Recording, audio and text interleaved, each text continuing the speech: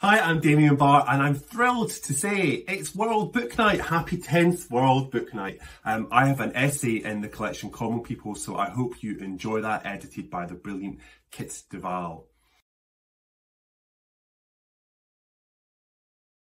So during World Book Night reading hour, I am going to be reading this. The Great Mistake by Jonathan Lee. This is a proof copy of it. I'm very excited about it. I've loved all of his other novels. This is about Andrew Haswell Green, um, a man who went from rags to riches in New York. He built Central Park, um, and this is the story of his death and a mystery, which I'm very excited about.